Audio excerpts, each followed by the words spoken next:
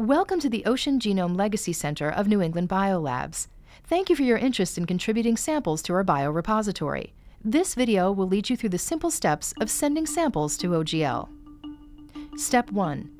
Contact OGL with information on what you are contributing. We accept whole specimens, tissues, and genomic samples from a wide range of marine and aquatic organisms. We can customize a collection kit for you based on what you plan to send. For fresh tissue samples, we can send you an OGL kit that contains numbered cryovials pre-filled with non-hazardous preservatives, forms and documentation sheets, a digital camera to document voucher images, a USB drive for sharing specimen information. For research cruises, we will send you OGL in a box, which includes additional equipment and tools. Please contact OGL for additional information and to customize your kit. Use the included specimen information sheets or Excel version included on the USB drive to record information such as scientific name, common name, tissue type, collection location, date, name of collector, and any other relevant notes about the sample. When your information sheet is complete, place your tissue sample in one of the provided numbered tubes.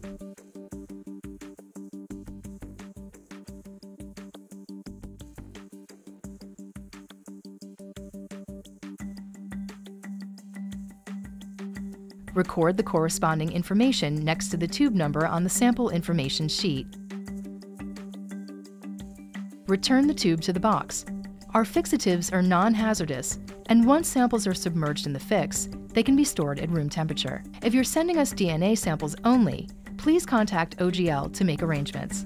Complete the checklist for depositing samples and the material and data deposit form.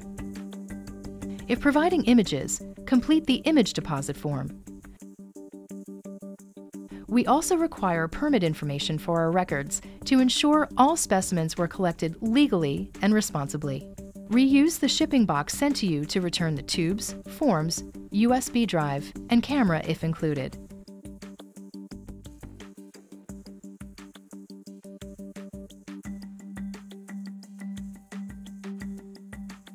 Notify OGL of your pending shipment. When your samples arrive, we will confirm delivery process the tissue to extract genomic DNA, assess your samples in our database, and archive the materials in our cryo storage.